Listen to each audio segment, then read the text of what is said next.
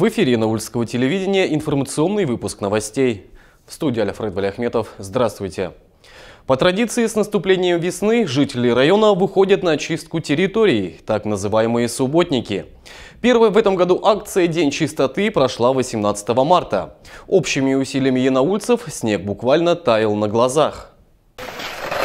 На борьбу за чистоту дружно вышли сотрудники различных учреждений и организаций. И пока весна еще не вступила в свои права, было решено начать с очистки территории от снега. Среди участвующих в акции коллектив детского сада «Колокольчик». Наш детский сад активно всегда принимает участие в таких акциях. Э, с удовольствием педагоги работают, берут в руки лопаты. Пока это форме, пока лежит снег, мы чистим территорию от снега.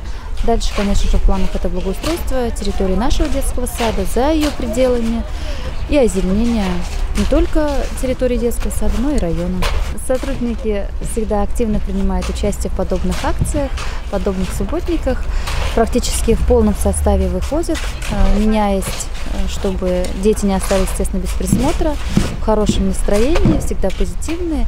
И всегда приятно проводить время не только в стенах детского сада, но и, соответственно, на территории на свежем воздухе.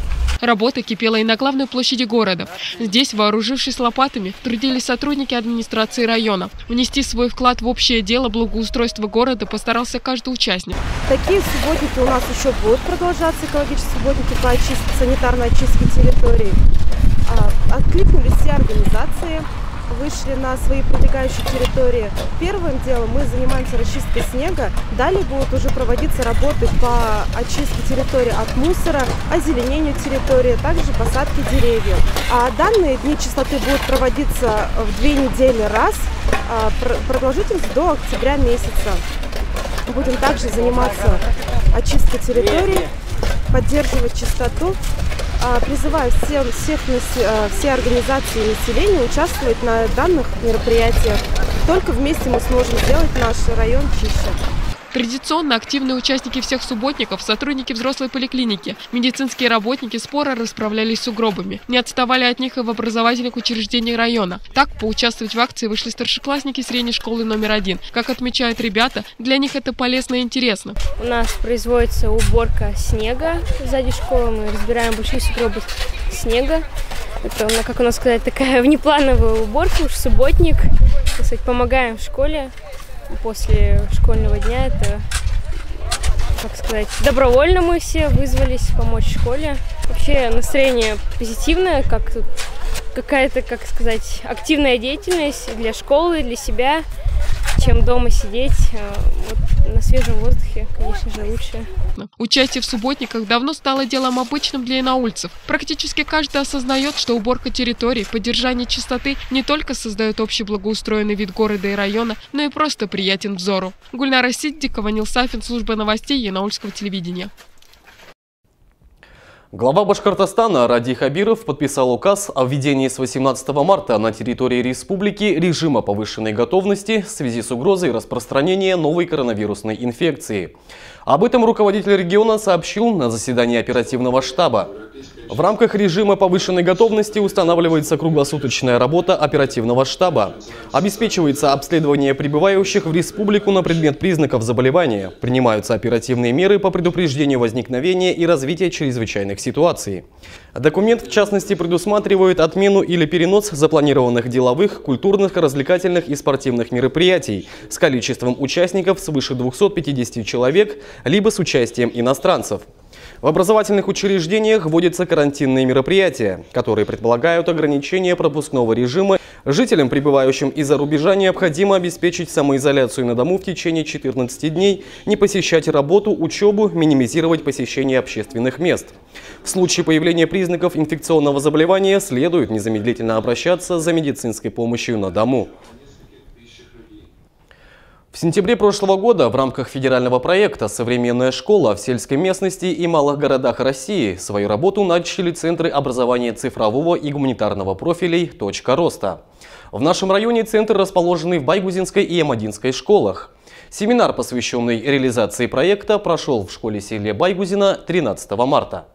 В семинаре участвовали представители управления образования, директора городских и сельских школ. Для них учащиеся продемонстрировали свои достижения и наработки. В рамках проекта в школе действует пять кружков. В объединениях программирования и робототехники занимаются в основном старшеклассники. Для создания моделей требуется знание основ физики и механики, а также терпение и упорство. Дети с удовольствием открывают новые возможности. У меня с детства появился интерес к лего, что с ним можно создавать разные вещи. Вот например, с такими комплектами удобнее создавать э, многие вещи, которые помогут тебе в дальнейшем, потому что уже в, э, в эти года у нас все уже на роботах, на технике. И с этим лучше, удобнее пользоваться. И мы уже начали, построили, Дивар предложил сделать ветряную мельницу, и мы ее построили. И, она стояла, э, и потом Эльмир Маратан сказал, что она сможет выделять энергию. Ну и мы построили вот это. Сейчас я хочу, э, чтобы, э, когда папа мой приехал, он чтобы купил мне такой же комплект, чтобы тренироваться и дома.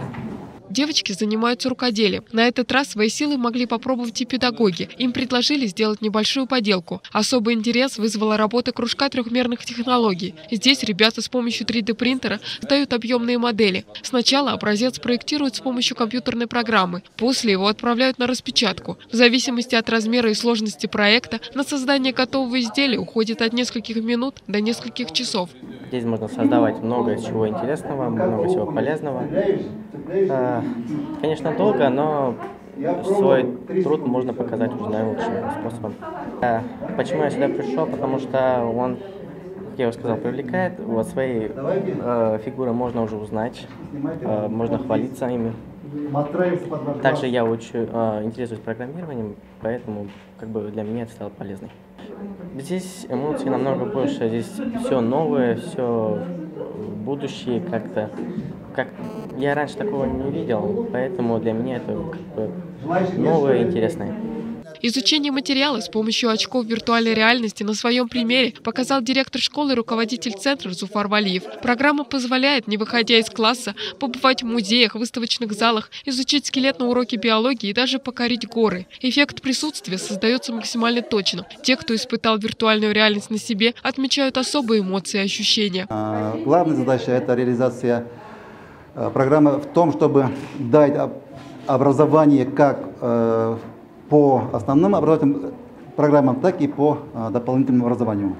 У нас оборудование, которое мы получили, кстати, на миллион шестьсот тысяч рублей, мы а, используем на уроках математики, вы, наверное, это видели, на уроках ОБЖ и на уроках технологии.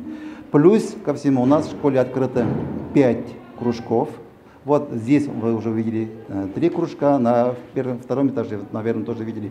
Это робототехника и программирование. То есть ребята ходят после занятий на кружки и получают вот э, по этим направлениям определенное образование, дополнительное образование. Это очень хорошо, очень хорошо. Э, и ребята уже, наверное, уже им понравилось, их уже отсюда так не выгнать. Плюс еще они как бы совмещены с школьной программой. Например, робототехника, наверное, там видели, э, она совмещена, она э, помогает для уроков физики. То есть по механике, вот по гидравлике есть там у нас э, роботы, которые строят сами и по ходу уже познают на своих руках, как работает механика, как работает гидравлика. Но здесь уже, конечно, уже это IT-технологии. Здесь мы видим 3D-принтеры, очки виртуальной реальности. Это наше будущее. И, как мы знаем, это уже недалекое будущее. Это довольно-таки близкое будущее, э, э, которое приходит к нам семимильными, так скажем, шагами. В этом году, в этом году у нас лицеи, и к 2024 году все сельские школы будут оборудованы вот таким оборудованием. В настоящее время в Центре «Точка роста» занимается 75% учеников. Кружки дополнительного образования посещают 80 детей с 5 по 11 классы. Как отмечают организаторы проекта, обучение идет успешно. Единственная сложность – нехватка узких специалистов. Семинар продолжила теоретическая часть. Участники обсудили методики обучения детей с использованием современных технологий. Гульнара Сиддикова, Артур Мухаммедшин, служба новостей Янаульского телевидения. Заседание комиссии по вопросам государственно-конфессиональных отношений прошло в зале администрации района 17 марта. С информацией о религиозной ситуации в Винаульском районе выступил глава администрации района Ильшад Вазигатов. Главный специалист сектора по делам гражданской обороны и чрезвычайных ситуаций Гульнар Кагирова в своем докладе рассказала о реализации требований антитеррористической защищенности и о формах паспорта безопасности объектов религиозных организаций. Для проведения категорирования объекта путем голосования создалась комиссия в составе шести человек. На тему взаимодействия органов местного самоуправления с религиозными организациями и об актуальных проблемах выступил заместитель председателя комиссии Вильник Мадзянов. В ходе заседания было принято решение регулярно проводить собрания в первую среду каждого месяца. В рамках районного фестиваля «Фронтовые концертные бригады. Полевая почта Победы» свое выступление показал творческий коллектив Байгузинского сельского поселения. На сцене развернулась история предвоенных и военных лет на примере жизни села. Начиная от мирной жизни, прерванной страшным известием о начале военных действий, горечи расставания с родными.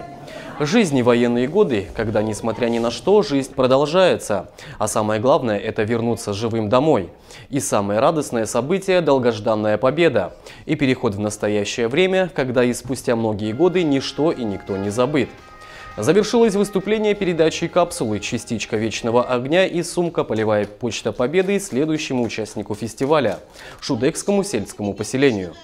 Совсем скоро мы будем праздновать День юбилейной победы Великой Отечественной войне.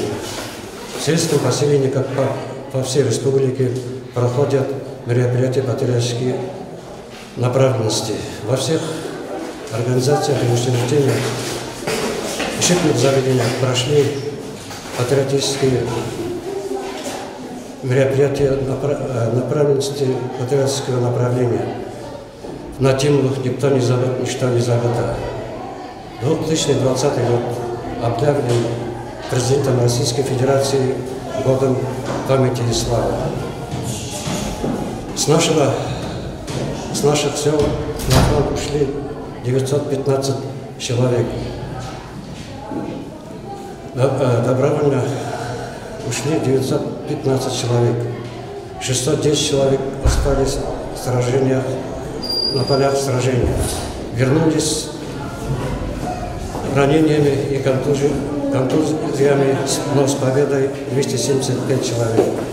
Среди фронтовиков есть наш земляк, односельчанин, герой Советского Союза Хайдашин Ойнаша Хайдашинович. Наше поколение и молодое поколение воспитались и брали пример с наших фронтовиков и с героя Советского Союза Хайдаршина Войнаша Хайдаршиновича. К юбилею Победы Народный театр «Хаят» подготовил спектакль «Обед» татарского драматурга Туфана Минулина. В этот раз над постановкой работали два режиссера руководитель театра Салават Хамзин и его ученик, наш земляк, уже самостоятельный режиссер Динар Саляхов. Зрителем на этот раз стали жители села Новый Артаул.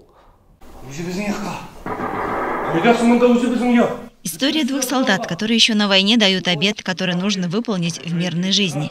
Хисматулла и Хикматулла из одной деревни женились в один день, призвались служить родине и попали в один полк. Роли Хикматуллы Решат Кельметов.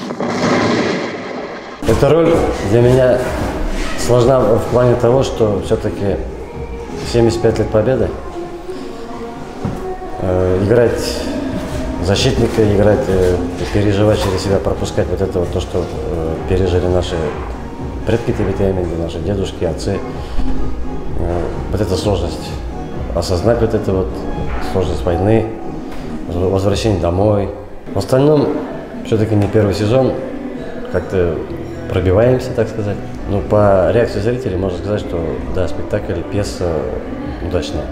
Салават Хамзин и Динар Саляхов сегодня наравне стараются, чтобы артисты театра играли как настоящие актеры, а зрители смогли переживать или порадоваться за героев. Во-первых, я как э, уроженец этого города, как э, уроженец, так скажем, этого театра, холл театра, э, хаят театра, э, для меня очень волнительно. Это первая моя, так скажем, серьезная режиссерская работа, которую помог, конечно, мне мой педагог, мой учитель, который меня отправлял когда-то на учебу в Казань, Салават Салимович Хамзин. И для меня э, это, скорее всего, экзамен, экзамен перед э, своим учителем, со своим, э, перед зрителями анаульским, поэтому очень волнительно, очень сложно, так скажем. Если актеров мало на сцене, что э, проще работать режиссер, абсолютно нет. Почему? Потому что э, есть большие спектакли, где массовые, массовые спектакли, э, там проще берет, э, берется там какие-то режиссерские находки, фольклор, песни, танцы, а здесь каждую ситуацию приходится каждому артисту объяснять отдельно, каждую сцену объяснять отдельно. Но если актер э, на сцене, то есть мало артистов на сцене, если неправдоподобно, то зритель этого не поверит. Поэтому приходится работать компактнее, сложнее, так скажем. История повествуется от имени одного героя. Несмотря на то, что в этом сезоне играет всего пять актеров, они постарались показать весь драматизм той эпохи и рассказать про это в рамках двух семей. Резда Новокрещенова, Нил Сафин, служба новостей Наульского телевидения. Вальс Победы. Под таким названием прошел конкурс юных исполнителей на фортепиано в детской школе искусств. В этот раз он был посвящен 75-летнему юбилею Великой Отечественной войне. В зале звучали композиции известных авторов, практически создавая атмосферу того времени. Для каждого участника это возможность совершенствовать свое музыкальное образование, а также продемонстрировать свои успехи в процессе обучения. В школе я учусь в шестом классе. Играла на конкурсе Дюрана «Вальс». Самое любимое мое произведение – это «Нежный свистняк». Я очень старательно занималась вместе с преподавателем, и у меня, думаю, все получилось, все хорошо. Надеюсь, у меня призовое место. Сегодня в нашей школе проходил очередной ежегодный конкурс юных пианистов на лучшее исполнение. В этом году мы посвятили а, этот конкурс 75-летию Победы, и поэтому а, в конкурсе мы играли сегодня вальсы. Вальс Победы, так звучало название нашего конкурса. В конкурсе участвовали учащиеся вторых, седьмых классов. По одному произведению они сыграли, готовились, старались.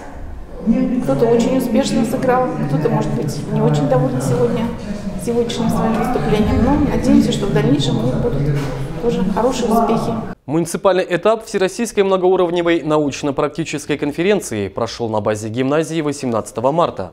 В ней принимали участие учащиеся школ района, учителя истории и обществознания, управляющий делами администрации района Рустем Фатхулин, начальник управления образования Эльвира Шаихова, председатель районного общества ветеранов Рима Фазылова, заведующая информационно-методическим центром управления образования Винерия Рахматулина. Более 70 тысяч советских солдат приняли участие в Великой Отечественной войне. Из них только половина смогла вернуться к своим близким. С такой информацией перед участниками конференции выступил Рустем Фатхулин. Он поблагодарил ребят за то, что они не забывают имена своих героев. Председатель общества ветеранов Янаульского района Рима Фазылова поделилась воспоминаниями о своих дедах, призвала учащихся изучать, знать и ценить свою историю, родину. Не надо искать героев на стороне, нужно уметь видеть тех, кто живет рядом с нами и изучать их историю. Заведующая информационно-методическим центром Венерия Рахматулина отметила, что конференция должна быть познавательной, открывать завесы незнакомых страниц истории. Э, наша конференция – да, знак памяти и уважения нашим землякам, героически сражавшимся на фронтах Великой Отечественной войны. А, данная конференция является многоуровневой, всероссийская многоуровневая научно-практическая конференция. Первый этап конференции прошел 19 декабря прошлого года в Институте развития образования Республики Башкортостан. Сегодня муниципальный этап, а в апреле-мае планируется провести школьный этап данного мероприятия. Инициатором проведения данного мероприятия на муниципальном уровне является Совет ветеранов Янаульского района. Организатором управления является Управление образования и Дом пионеров и школьников. Всего на конференции принимают участие более 50 обучающихся школ и учреждений дополнительного образования, а также учителя истории и обществознания. Наша задача – сохранить сознание молодого поколения, историческую память о Великой Победе. Моего прапрадедушку зовут Давид Казин Мужикидин Давид Казиевич. Он родился в 1901 году в селе Старобалапаново Абдилевского района. Он участвовал в финских боях, был участником Великой Отечественной войны и сражался с самураями. Мама говорила, что он был очень добрым, всем помогал. Э, и он помогал своим работникам, его также награждали грамотами за работу. Доброжелательным человеком он очень был, говорили. Ветераны трикотажного цеха Дома быта отметили свой профессиональный праздник 15 марта. В День работников бытового обслуживания населения и жилищно-коммунального хозяйства они встретились в кафе за чашкой чая. Все эти женщины работали в одном цехе. Среди них бухгалтеры, ткачихи, вязальщицы, вышивальщицы. Все те, кто был в курсе всех модных тенденций и одевал всю округу. С профессиональным праздником виновниц торжества поздравила заместитель главы администрации района по экономическому развитию и предпринимательству Файруза Ганиева. Она поблагодарила их за вклад в развитие района и вручила букеты весенних цветов. Главными инициаторами и организаторами встречи выступили Ирина Иделбаева и Венера Нуриахметова. Благодаря им давние подруги и коллеги по цеху смогли встретиться и вспомнить молодость. Ирина Петровна со своими идеями подошла ко мне. А, а разговор о встрече зашел так, что именно к 15 марта, чтобы именно 15 марта это было, мероприятие а, проводилось э, к празднику жилищно-коммунального хозяйства бытового обслуживания предприятие работало давно. После этого люди как э, работали, э, вместе не встречались, а коллектив очень дружный. Вот, и инициатива была, э, постарались, приложили усилия, и вот мы собрались, мы сегодня здесь. Я проработала на этом предприятии немного, но это была настоящая школа. Она мне в дальнейшем помогла организовать свое предприятие. Вот на основе, на основе всех знаний, которые это предприятие мне дало, я сегодня работаю и живу. Муниципальный этап 9 всероссийского конкурса юных чтецов «Живая классика» прошел на базе лицея города. Этот конкурс был организован Управлением образования и сотрудниками Дома пионеров и школьников. Все желающие делились своим читательским талантом. Ребята читали военно-патриотические отрывки из произведений любимых российских и зарубежных писателей и поэтов. Главная цель конкурса – повышение интереса школьников к чтению и популяризация чтения.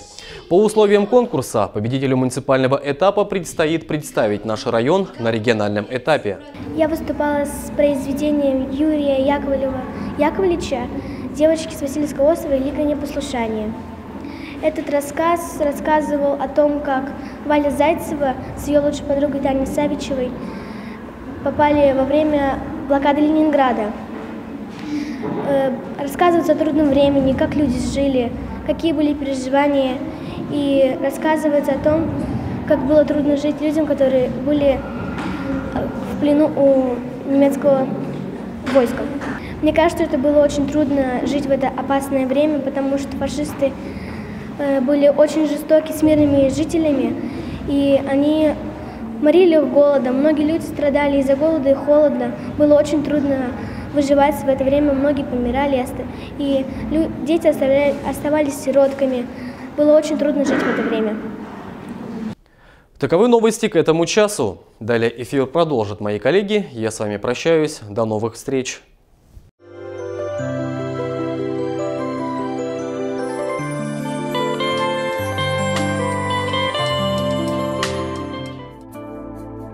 20 марта ожидается пасмурная погода, возможен небольшой дождь со снегом. Ветер западный 3-5 метров в секунду. Атмосферное давление 743 миллиметра ртутного столба. Температура воздуха ночью минус 1, минус 3, днем плюс 2, плюс 4 градуса. По данным МЧС, в республике ожидается облачная погода, осадки в виде мокрого снега и дождя. В отдельных районах налипание мокрого снега на провода и деревья. Ветер юго-западный с переходом на северо-запад 9-14 метров в секунду. Местами порывы 15-20 метров в секунду. Температура воздуха ночью от плюс 1 до минус 4, днем от минус 2 до плюс 3 градусов.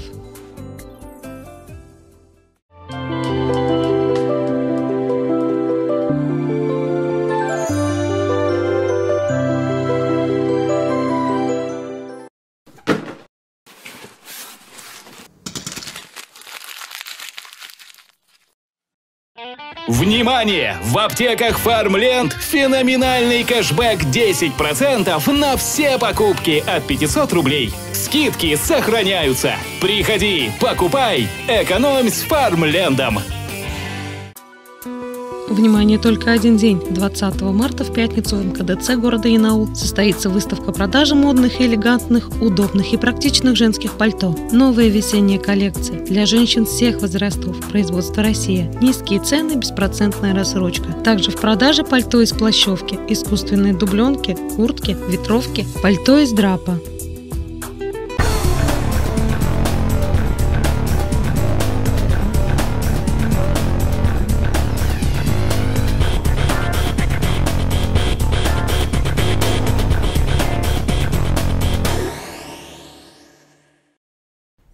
О событиях и преступлениях, произошедших за две минувшие недели, в очередном выпуске программы «Криминальная хроника». В студии Рустем Шарипов. Здравствуйте.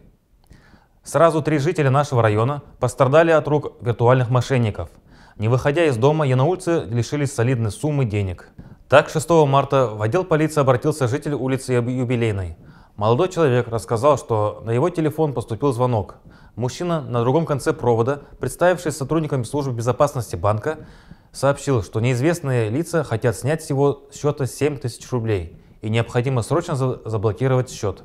Подавшись панике, мужчина сообщил все данные банковской карты, включая секретный код на обороте карты, после чего на его мобильный поступило сообщение. Но и тут он решил довериться незнакомцу и продиктовал цифры. Нетрудно догадаться, что спустя совсем немного времени с карты пропала кругленькая сумма, а именно 100 тысяч рублей. По этой же нехитрой схеме, спустя 4 дня преступники обманули еще одну женщину Янаула. В результате своей доверчивости женщина потеряла более 10 тысяч рублей. Спустя всего один день, 11 марта, на удочку преступника попался еще один житель нашего района. Как итог, с карты пострадавшего неизвестные похитили почти 130 тысяч рублей. Уважаемые жители Янаульского района, убедительная просьба быть бдительными и осторожными – как, при, как правило, мошенники находятся за тысячи километров от места преступления. Найти преступника и отследить перемещение ваших сбережений крайне сложно. Поэтому главное оружие в борьбе с мошенниками – ваша сознательность. Ни в коем случае не сообщайте данные своей карты третьим лицам. Особенно это касается секретного кода на ее обратной стороне. При возникновении вопросов необходимо обратиться по телефону горячей линии вашего банка. Его номер можно найти на, на самой карте или обратиться в банк. Жительница Никольска по своей невнимательности лишилась 5000 рублей. Женщина снимала наличные в одном из торговых центров и забыла забрать деньги в слоте банкомата. В результате проведенных с полицией мероприятий лицо, совершившее хищение денежных средств, установлено. Ею оказалась жительница города Янаул, в отношении которой в настоящее время возбуждено уголовное дело. Проводится расследование. Еще одной актуальной проблемой остаются кражи садовых и загородных домиков – в поисках цветного металла и ценностей преступники прочесывают частные садовые участки. Вечером 6 марта в отдел полиции обратился житель станции Карманова о том, что неизвестные лица проникли в его рыбацкий домик и похитили процессор марки Sony и телевизор марки Samsung. По данному факту проводится проверка. 10 марта в поле зрения сотрудников полиции попал мужчина без определенного места жительства. Он гордо шел по дороге и нес под мышкой велосипед марки Кросс. В результате разбирательств и проведенной проверки было установлено, что данный велосипед был похищен из подъезда многоквартирного дома по улице Победы. По данному факту возбуждено уголовное дело, ведется расследование. К сожалению, Международный женский день для некоторых жителей района превратился в алкомарафон. Несколько жителей обратились за медицинской помощью, а те, кто были в состоянии продолжить гуляние, начали рейд по магазинам. Так, вечером 8 марта в одном из супермаркетов Похитили бутылку водки. Накануне праздника в другом магазине с прилавка похитили две бутылки портвейна. Но самым находчивым воришкой оказалась незнакомка, попавшая в объектив видеокамеры 5 марта. Женщина не только стащила бутылку водки, но еще мужской дезодорант. Ее личность установлена. В отношении 52-летней жительницы города Янаул составлен административный протокол. 4 марта в одном из магазинов, расположенных в северной части города, была изъята небольшая партия спиртосодержащей продукции, в народе называемой фанфурики. 12 флаконов антисептика объемом по 100 мл продавались без лицензии в качестве раствора для наружного применения. В отношении женщины составлен административный протокол. В первых числах марта в ходе проведенных оперативно-розыскных мероприятий сотрудниками полиции изъяли, изъяли у жителей улицы Аксакова патроны различного калибра, гильзы, порох и инструменты для изготовления патронов. Спустя два дня другой житель Янаула добровольно сдал охотчее ружье неустановленной модели. Его мужчина нашел в лесном массиве вблизи деревни Старый Артаул. Это все главные происшествия за минувшую неделю. В завершении программы хочу еще раз предостеречь вас от необдуманных поступков и решений. Берегите себя и своих близких. До свидания.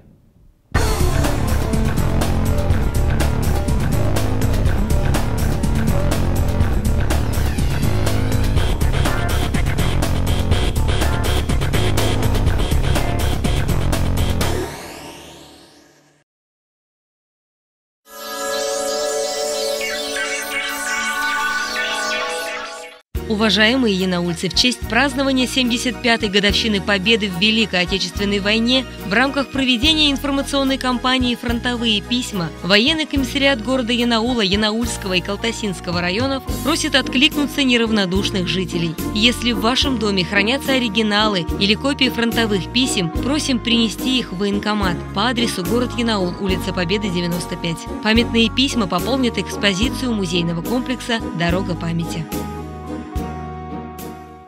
Вниманию жителей частного сектора города Инаула. Администрация городского поселения убедительно просит произвести очистку водосточных канав, лотков, труб, дренажей, предназначенных для отвода поверхностных и грунтовых вод, во избежание подтопления соседних участков, тротуаров, улиц и проездов. Вирусные инфекции наиболее активны зимой и весной.